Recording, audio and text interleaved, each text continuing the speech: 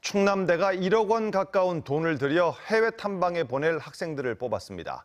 선발을 총학생회에 맡겼는데 일반 학생들에겐 제대로 고지되지 않아서 총학생회 임원들끼리 고스란히 혜택을 보려다 결국 특혜 논란이 빚어지고 말았습니다. 최유진 기자입니다. 충남대 SNS에 학생들의 불만이 쏟아집니다. 대학에서 우수 학생들을 뽑아 다음 달 홍콩, 대만으로 5박 6일 해외 문화 탐방을 보내는데 선발 권한을 총학생회에게 넘겼다는 겁니다. 결과적으로 선발된 60명 중 14명은 총학생회 임원으로 드러났습니다.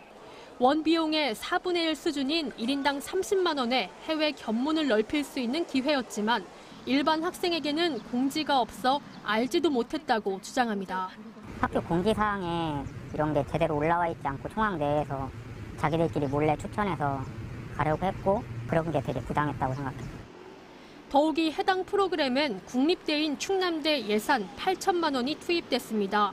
형평성에도 어긋나고 총학생회 눈치 보기가 아니냐는 지적까지 나오자 학교 측은 뒤늦게 재모집 공고를 냈습니다. 총학 대신 각 학과장 추천을 받은 학생들로 전면 수정한 겁니다. 방법 쪽은 약간- 약간의 실수라는 건 인정을 할게요. 박건희 학장님한테 이제 그거를 객관적으로 신빙성 있는 학생들을 올려달라고 총학생회 측은 학교 지시에 따랐을 뿐 특권은 없었다며 선발을 모두 포기한다고 밝혔습니다. 저희 총학생회도 좀 인원 비율이 좀 높은 편이고 학생들이 부당하다 그런 말들이 많이 나왔기 때문에 저희는 이제 전부 다 빠지고 막대한 국립대 예산을 들인 해외 탐방이 학생들 사이 갈등만 키운 셈입니다.